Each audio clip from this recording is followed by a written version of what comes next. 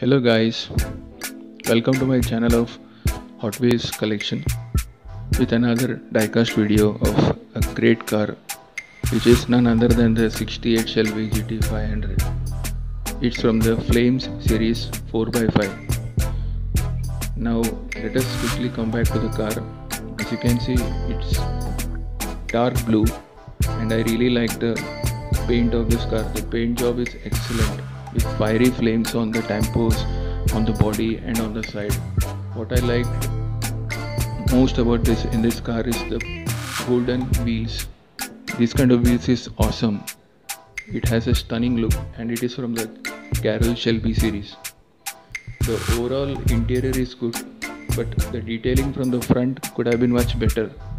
But anyways, this car is awesome.